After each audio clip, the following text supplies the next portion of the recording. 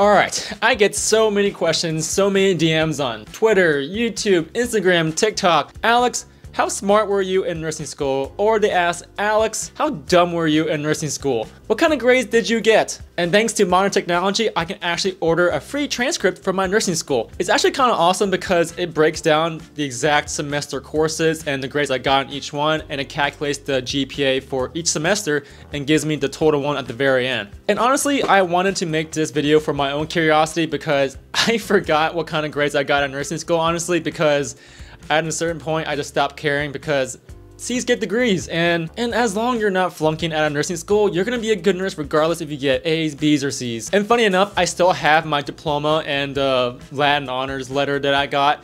It's still in the cardboard container and I still haven't gotten a frame from it yet. It's been about three years now, but eventually I will have it framed and I'll have it behind me and it will look super cool and official.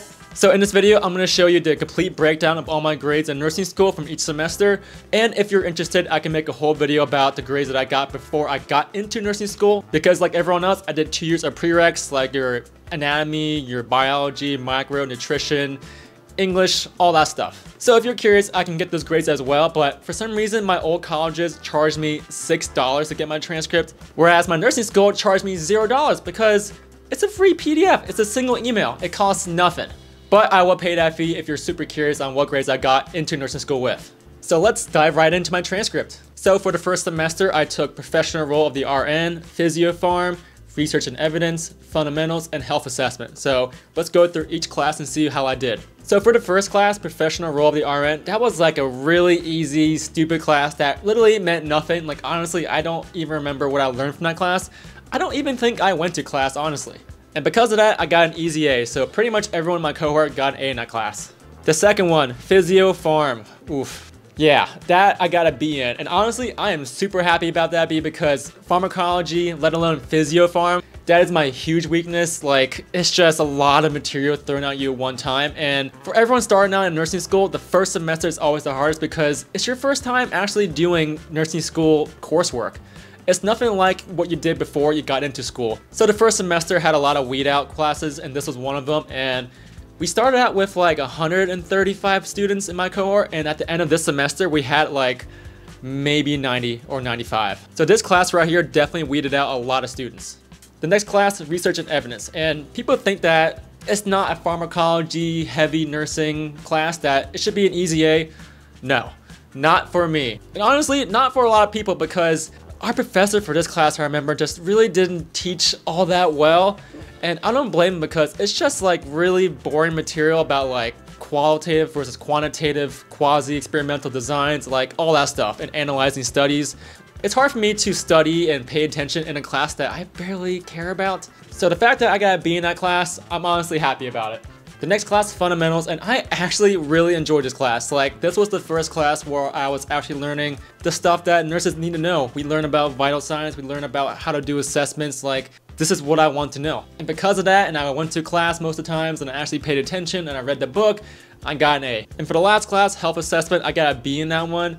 I don't even remember why I got a B. I think the final exam just like destroyed me and I probably got like an 89%. I wish it would tell me my percentage because I swear to God, it's probably all on the border. But then again, a B's a B, I'm happy with it. It's first semester in nursing school. It's usually the hardest and I'm just getting used to it. So for my entire semester, I got a 3.44 GPA and I'm proud of myself. Now let's do second semester. We took pathopharmacology, we took med-surg, and we took psychiatric mental health. So you can see that in this semester, we took three classes down from five classes, and you might think that like, oh, that's gonna be so much easier for you because you're taking three classes. You took five last semester. How hard could this be? Let me say this to you guys. This was the worst semester time period of my entire life. The worst time. It was the hardest period in my academic career from kindergarten up until nursing school. I still have nightmares about med-surg because it doesn't show you that we also take clinicals for MedSurg and Psych.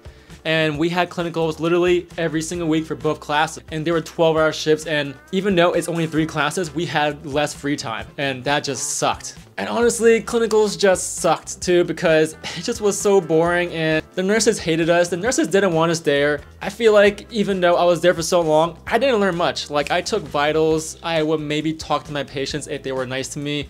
And other than that, it was one heck of a semester. For patho pharmacology, I got an A. And honestly, I love patho. I don't like pharmacology, but I love learning how things work, like from A to B and honestly, that class was actually one of my favorites throughout nursing school. And if you saw my percentage, I got like a 98 in that class. Like I was getting 95s, 97, 98 on every single exam. The reason why this was the worst semester of my entire life was because of this class, MedSurg. I don't want to scare you guys, but this was the worst class I've ever taken in my entire life. For MedSurg, I can't even blame my professor because I actually really liked her. I love actually going to lecture and hearing her talk.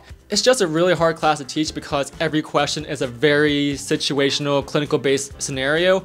Like you'll get questions like John Doe, 80 years old, comes in with a back pain and chest pain, a headache that started last week. Here are 20 of his medications that he takes and here are the four things that you need to do and what is the right one and every test was like that. Uh, like I remember one time like we take these tests on our computer and I remember the person in front of me, he submitted his exam on Blackboard and you see your grade right away.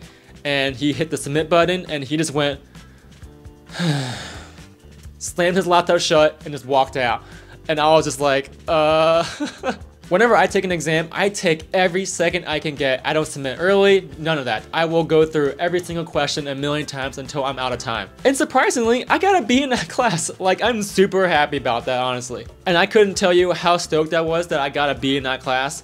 I think I needed like a C to get a B average, and I got like a 71, so I barely got that grade. And for the next course, it's Psych, and I got an A. Honestly, Psych wasn't easy, but it wasn't hard. It was kind of just average. Like if you just tried your best, you'll probably get an A or high B.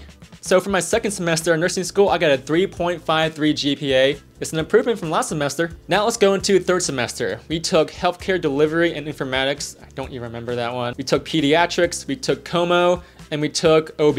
Out of all the semesters that I did during nursing school, this was my favorite one because I was actually learning things that was going to be useful for me as a pediatric nurse. For the first class, healthcare delivery and informatics, that was like a BS class, like it's only two credits. It's like an easy elective that everyone took and we all got easy A's. For the next class, pediatrics, and I got a B in that class. Wow, don't remember that one. I I swear I got an A in that class, I guess not. But let me say this, I really like pediatrics and I actually learned a lot from that class. And, you know, a B.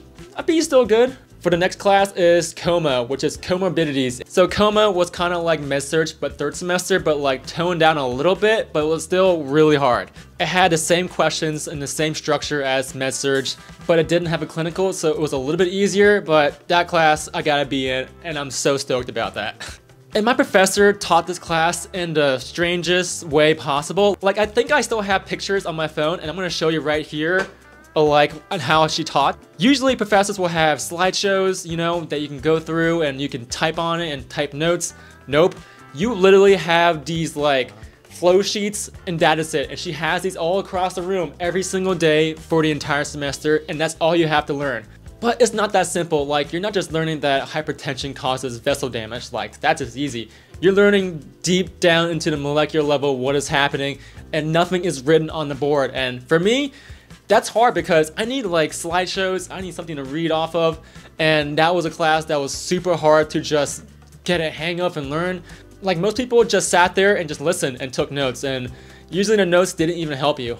And at the end, I got a B in Como, and I'm super happy about that. Like, oh my god, the first day that I walked into that class and I saw those flow sheets, I literally almost had a panic attack. And for the next class, OB, Women's Health, I got an A in. Our professor who lectured this whole course was really good at her job. Like, sometimes you get a professor and they're alright at teaching, but then you have professors like this that just excel. Like, they're so good at talking, they speak with such conviction and passion, and they get you excited about their specialty that you might not ever work in. Straight up, never skip class for OB, and that's pretty impressive for me. And let me tell you, for clinical, I really wanted to see a real life birth, and I never saw one. Literally everyone in my clinical group, everyone in my entire cohort saw a live birth. Not me. Not me. Basically all I did for that entire course, I just took vitals and I talked to people who were about to have a baby. It was a good experience, but I wanted to see actually someone give birth. But I knew that probably since I would never work in labor and delivery that this was my only shot to see like a real life birth, but maybe one day I'll work in labor and delivery, who knows. So for third semester, I got a 3.47 GPA, and it went down a little bit, but it's still higher than first semester, so eh, I'll take it. Now for my final semester, we got sleep disorders. um, public health, and leadership in clinical practicum. So as you can tell, these classes are just kind of BS, to be honest. so this is what separates a bachelor's program versus like an associate's program. We take all these leadership and informatics classes that don't really matter at all. It just matters for the bachelor part of my degree. And fourth semester, typically for a lot of nursing students, especially my school, it is the easiest easiest semester of the entire program. And honestly, you're just coasting and we had to choose one elective to take and I chose sleep disorders and literally I just learned about sleep for an entire semester.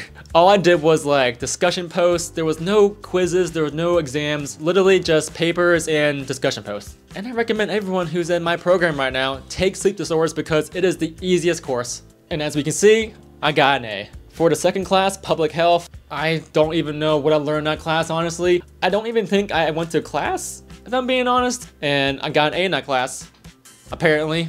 And for the last class is leadership and clinical practicum. So basically for this class, you're mainly just in the hospital because you need like 120 hours on a one-on-one preceptorship. I was placed in a pediatric ER, which is kind of great, honestly. I wanted NICU, but how our program worked was you have to rank your top 10 specialties. Like I did NICU, I did PICU, I did pediatric step down, I did pediatric ER, and then like adults, the rest. And I only care for the top five, and luckily I got one of them for the pediatric ER, but a lot of people in my program were not lucky. Like, I know one girl who wanted women's health, but instead she got adult med surg. Like, it's not even close. So I wish I got NICU. I really do sometimes think about that, but the pediatric ER was a good experience. And this class was the busiest because it's seven credits, so you're just in the hospital every single week, and you're not really doing a lot of like quizzes or tests. You're just doing your thing as a student nurse. So as long as you just did your job well and you actually followed your preceptor and you learned and you improved, you got an A like I did. So obviously the fourth semester of nursing school was the best semester out of the entire program. Um, I can't speak for all programs out there, but at least for mine, it was the easiest one and basically everyone got straight A's. And for my entire program, my overall cumulative GPA was 3.61. And honestly, I'm really happy about that. So guys, that was my entire transcript for nursing school. I hope you enjoyed this video and hopefully this gave you some insight about me as a nurse and how I did during nursing school. I get a lot of comments asking me how I became a nurse, like starting from high school and then becoming a film major in college and then going to community college because I couldn't do it and then getting rejected from nursing school twice and then getting into nursing school and then my experience throughout the whole program and then becoming a new grad nurse. Like if you want to know that entire crazy journey, comment down below. I'm more than happy to do a video on that. I'm just taking any suggestions I can get from you guys because I'm trying to get on a schedule, but it's tough because I don't know what kind of content to make on a routine. I don't know if it should be vlogs or talking videos. Like, I'll do anything for y'all because I'll make whatever you guys would want to watch. So again, guys, thank you for watching this video and thank you to my nursing program for sending me my transcript via email for free. You're the real ones. And I will catch you in the next video. Thank you. I love you.